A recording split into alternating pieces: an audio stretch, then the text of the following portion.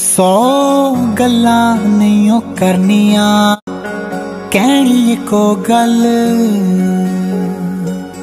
ਸਾਰਾ ਜੱਗ ਛੱਡ ਕੇ ਮੈਂ ਹੋਇਆ ਤੇਰੇ ਵੱਲ।